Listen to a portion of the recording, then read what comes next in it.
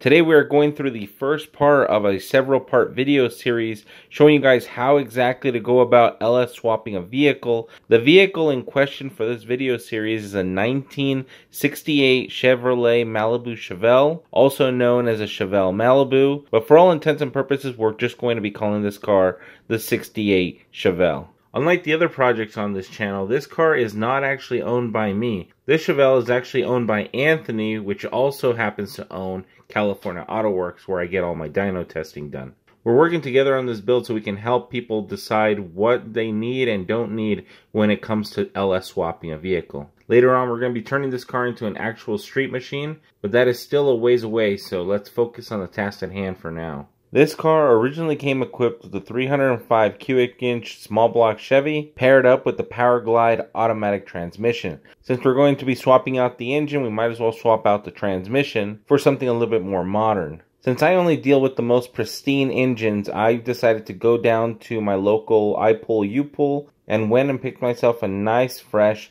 5.3 liter LS that ended up being paired with a 4L60E 4-speed automatic transmission. Once I got back, it was time to unload the engine and transmission and begin cleanup. Anthony decided to give the 4L60E a once over on the transmission while I went ahead and cleaned up the block. Now that I finally have you guys up to speed, it's time to begin the real LS swap. So we just pushed in the Chevelle into one of the stalls right here at the shop. The engine that we're gonna be dropping in is this one that we have right here. This is a Gen 3 5.3 liter. We picked this up at the junkyard. It was completely trashed, full of gunk. We weren't actually sure if the motor was gonna be any good or not, but we went ahead and we pulled off the pan just to look inside. And as you guys can see, you can easily tell that these are Gen 3 rods. The motor does spin freely, so if you guys know if it spins, it does win. The rods are all the same color. The only thing you want to look for is for any kind of discoloration. So they're all goldish, dirty, but there's no blue, there's no purple, there's no black, so everything is good to go. We're not gonna even bother to pull the caps off. We're not gonna pull any pistons out.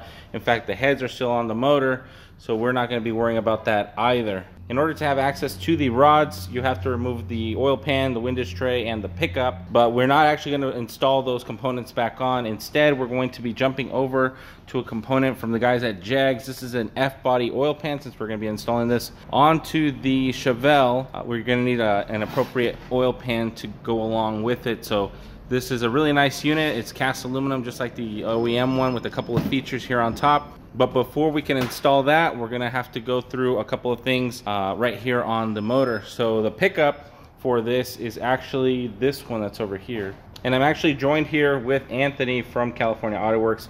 Anthony, uh, why do we actually have to change the pickup if we're just changing the oil pan? We have to change the pickup to line up with the depth of the oil pan.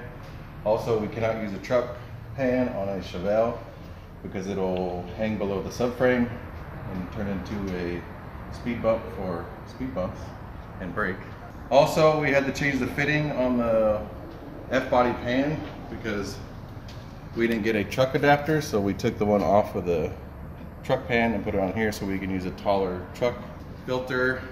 I'm looking at the pickup right now and I'm noticing that this pickup has a spot for two bolts whereas the OEM one only has a spot for one and this one's welded up. Is there any particular reason for that or is that just a cosmetic thing or what's up?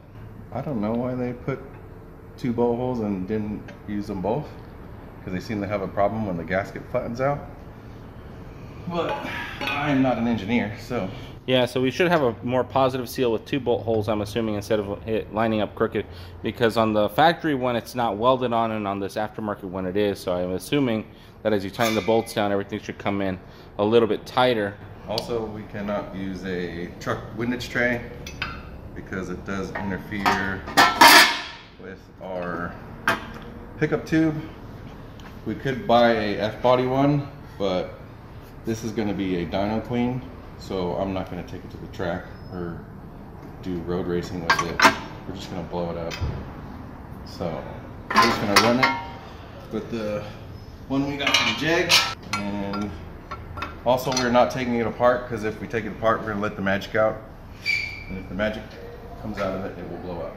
All right, so I have the bottom of the block all dressed up. The oil pan kit actually came with brand new bolts, so I didn't have to reuse the stock ones, which was nice. I actually ended up cleaning them up, but I'm not gonna have to use them after all. Plus, these have a wider flange head, which are always nice. I went ahead and I torqued all of these bolts down because apparently there's an issue that when you over torque these gaskets, you tweak them and they end up leaking. You end up tightening them more and then it actually seals up for a bit, but then it starts leaking again. So, so the torque spec for all the shorter bolts were 18 foot-pounds and the torque spec for the ones in the back were, I believe, 102 inch-pounds which is only like 10 foot-pounds or something. So I don't actually normally torque any of this down. This is actually a suggestion to me by Anthony. I've never personally had a problem with these pans leaking, but I also don't super over torque them. So that might also be part of it. One thing that did come up though is that there is an extra bolt hole and I use the word extra lightly because apparently on the Gen 3 they don't actually have that bolt hole. Actually it's blank right there and apparently on the Gen 4 motors, there is a bolt hole, which is actually this pan over here is a Gen 4. And you can see that the bolt hole is right there. So if you don't have a hole here, I wouldn't worry about it too much. The kit did come with the appropriate bolt in case you wanted to run this bolt, but you would have to go ahead and drill and tap it and do all that stuff. So probably not something you'd want to do, but nice that the pan gives you the option to do so. Like we mentioned earlier, we went ahead and we switched out the oil fitting adapter so we can use the standard truck oil filters. But the oil pan kit actually did come with the proper car oil filter adapter, but since we have a bunch of the truck filters, we went ahead and switched that over to the truck filter as well. Aside from that, we still have to install the oil drain plug. And then we've got two fittings up here in the front, and these are actually for turbo drains. Now, the JEGS oil pan actually comes with the appropriate plugs. I, I believe they're 3 8 MPT fittings. I got to go ahead and double check. Actually, I'll go ahead and leave a link to that in the description down below. But the pan does come with the appropriate fittings for you to block these off. But because we're going to have eventual turbos on this, we're going to go ahead and install the proper AN lines and then we're just going to cap them off and uncap them when it's time to actually hook these up. So for the time being, we're going to go ahead and install some thread sealant on this and then we're going to go ahead and install these on the side of the pan. Now that I've got the entire pan all assembled minus the oil filter, Let's go ahead and move on to the last thing before we can flip this engine over, and that's going to be the engine mounts themselves. But it's actually a combination between the engine mounts and the mount adapters. Let me show you what I mean. On the other side, I've already installed one, and I only have one left now. So I have this adapter. We are using the GM LS engine to small block Chevy adapters. And this kit comes with this plate that we have right here. It also comes with the appropriate hardware. It also comes with the rubber mount and everything to bolt it on together. The only thing it does not come with is instructions, and so I actually have to figure this out before I turn the camera on. But overall, it's actually not that difficult. Let me go ahead and show you how you take care of this. The first thing you're going to want to do is you're going to want to take some of these countersunk bolts and you're going to run them through these holes right here out the back. And the reason for that is that if you try to install this plate after it's installed inside the block, you won't have enough room to run these bolts in. These plates actually have like two, three threads on the back side, so you should be able to run these in just enough to get everything torqued down. So let me go ahead and do that and I'll show you the orientation of this on the motor. Like I mentioned before, there are no real instructions inside the box, but you can kind of figure out what you're supposed to do. So they gave us this anti-seize, and the anti-seize is actually for the bolts that are going into the block. I personally like to use thread locker because I don't want them vibrating out but anti-seize works just as good. They do the opposite thing, obviously. Anti-seize so bolts don't get stuck, and the thread lockers so that bolts don't come back out. The purpose for each item is almost exactly the same. The point is that you want to fill in all the gaps in the thread so that way later on the bolts are not difficult to remove. That being said, on these countersunk bolts specifically, you really want to use anti-seize and not thread locker. And the reason for that is that these are driven in with a hex head. If later on down the road you want to remove this from the block, the hex could be worn out, it could be eaten up by corrosion, it could be damaged, and so you want to have the least amount of resistance when pulling this back out of the block so you don't have to bust out the grinder or the welder. So in that particular situation, I would definitely go with the anti-seize and not the thread locker. So like mentioned before, the engine is actually upside down, so keep that in mind when looking at these adapters. So the proper orientation for these adapters is going to be like this with the two studs that we just put in. Those are going to be on the bottom, or in reality, they're the top. The deciding factor on that is the motor mount or engine mount themselves. You can see it is in a T shape and it only goes on one way. The two studs actually slip into here and then you just add the final bolt the final bolt's going to line up right here and the reason you know it's set up like this and not the other way around is that the engine mount has a little ledge right here. It's a little piece of steel, kind of like a guide to tell you that when you go to drop the engine down, that's where the engine's going to stop. If the mount was upside down, then you could see that there would be a problem with trying to drop the engine onto the mounts. So going by the assumption that it's supposed to be like this, you can now understand that if the engine's upside down, then it has to be like this. Once you have the orientation down, you have to figure out whether this goes on the left or the right side. So the rule of thumb for that is that the small block Chevys actually mount towards the front of the engine, whereas the LSs tend to mount in the middle of the engine. So keeping those two things in mind, let's go ahead and set the orientation of this mount, which is going to be like this, which is going to end up like this.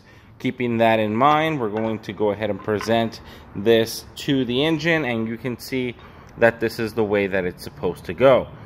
The other side is the exact same way. If we go over to the other side, I'll show you exactly what I mean. So going by the same logic, this engine is going to drop onto the cradle, so we're going to want this on the top, aka the bottom side. So when it's all mounted onto this bracket, it's got to sit upside down. And because we've got to make sure that this mount sits forward of the engine, this is the exact position where it needs to be. Now I'm going to go ahead and install the other side, and then we're going to flip the engine over and get the other stuff sorted out. Right before I flipped the engine over, I actually realized a mistake, and that was with this guy right here.